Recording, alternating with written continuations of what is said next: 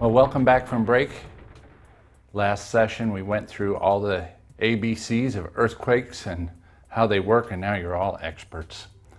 For this session, we're going to go through earthquake bracing protocol and how do you determine what to secure in your business or your organization. You know, there are lots of codes and requirements to choose from. It gets kind of complicated when deciding what to do. We have the UBC, the Universal Building Code, the CBC, the California Building Code. There are additional codes for each of those for existing buildings. We have something called SB 1953. That's the seismic code that was created for California hospitals. And there are lots of fire codes, and they can vary by what they require and how they're enforced based on the community that you're located in. But I think the best way to take a look at how to determine what you're going to do is look at other entities and how they have done this. No need to reinvent the wheel here. So the first thing we're going to look at is California hospitals. You know, after the Northridge earthquake, almost 20 hospitals closed down. None of them fell down. These hospitals were closed because of damage from the earthquake to non-structural systems inside the hospital. What does a non-structural system include? Well, it includes all the things you may find underneath the ceiling in your business. The furniture and equipment, maybe in a lab or manufacturing or office setting. It all got tossed about in this Northridge earthquake. So SB 1953 was passed.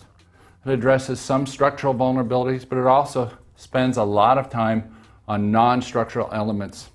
Hospitals are required to secure contents in their critical care areas by this mandate.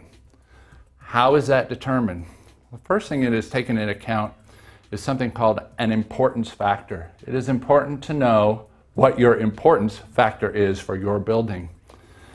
There are a lot of things that go into making up the importance factor, or, or it's called IP. One of the things that go into making it up is how long are you comfortable having your business out of business after an earthquake? The higher the IP number, the lower the amount of time it's okay for you to be down. In a hospital, as you can imagine, we want no downtime. Hospitals need to continue functioning following an earthquake. So their IP is a number of 1.5. And that number is important to remember because we'll refer to the IP as we go through examples.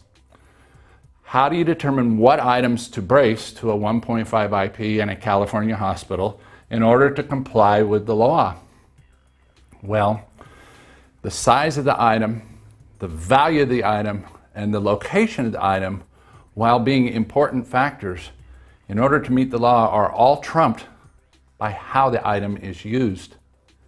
You may have a small microscope located in the back of a room, but if that microscope is critical to the operation of that lab or that room, by law it must be secured. So it's the function of the item that drives whether or not that item is secured. And once the determination is made that the item must be secured, the engineering that goes into securing it is developed to an IP or importance factor of 1.5.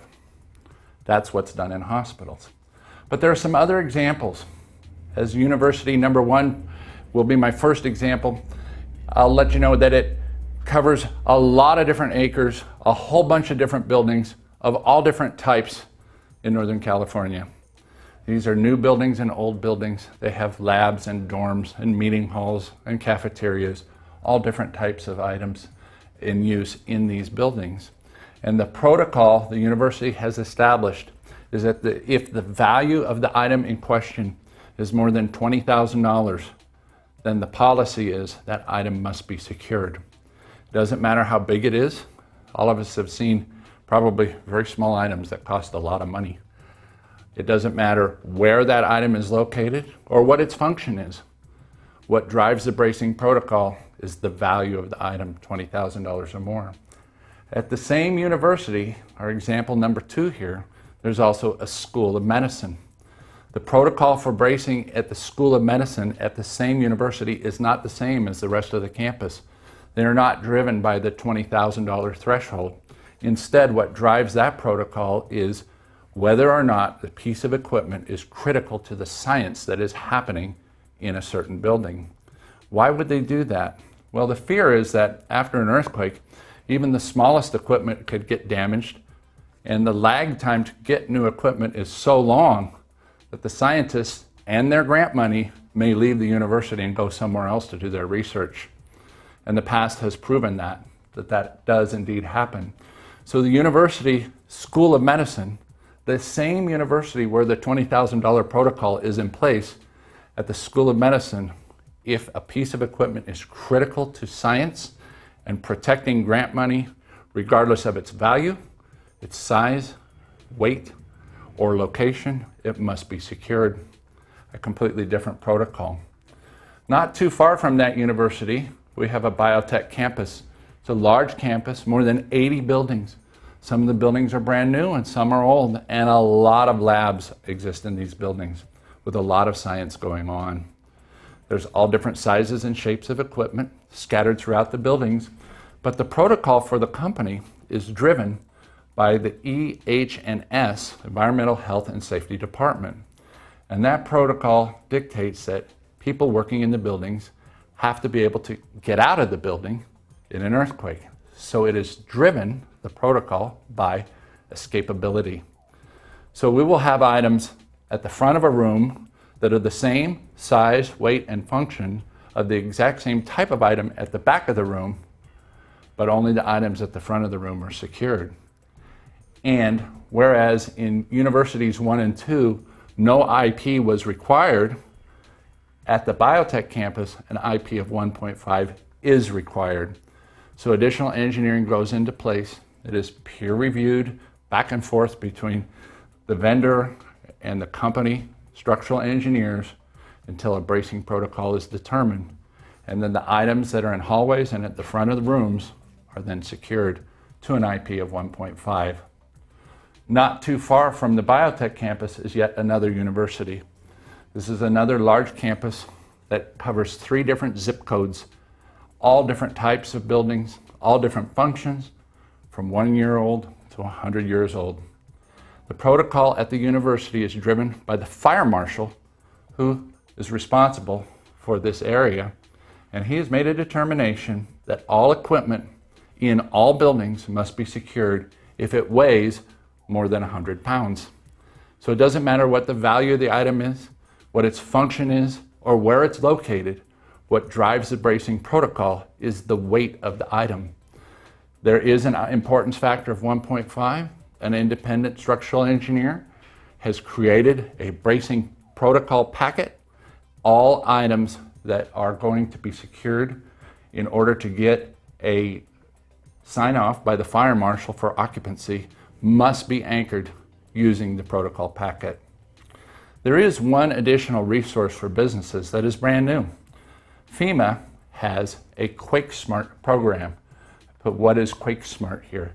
QuakeSmart is a new business resiliency program that is free and allows companies to access a back to business assessment as well as search for vulnerabilities to the structure, the systems, which are the items above the ceiling, and the space, which are the items below the ceiling, in determining what should be done to secure items to get ready for an earthquake.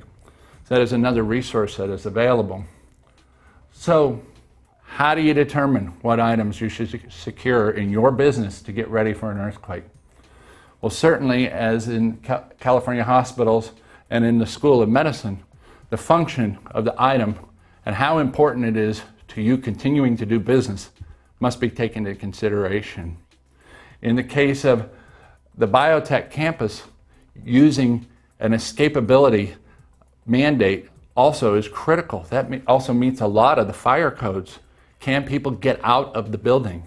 Is an item so large that it could hurt someone? And in the case of the university number one example, the value of an item certainly does matter. You don't want to lose items that are an important part of your inventory or that generate revenue for you. So the recommendation is that you take the best of all of these. You use engineering and you make a determination on what items you should secure in your own business. And that's how you do business continuity bracing protocol.